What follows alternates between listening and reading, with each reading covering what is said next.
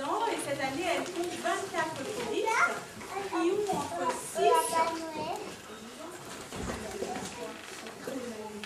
10, je m'aurais donné 10 ans hein, quand même. Hein. 6 et 10 ans. Voilà, donc euh, c'est Céline Rocher qui dirige cette chorale depuis 3 ans. Et pour ce soir, nous avons préparé trois petites chansons.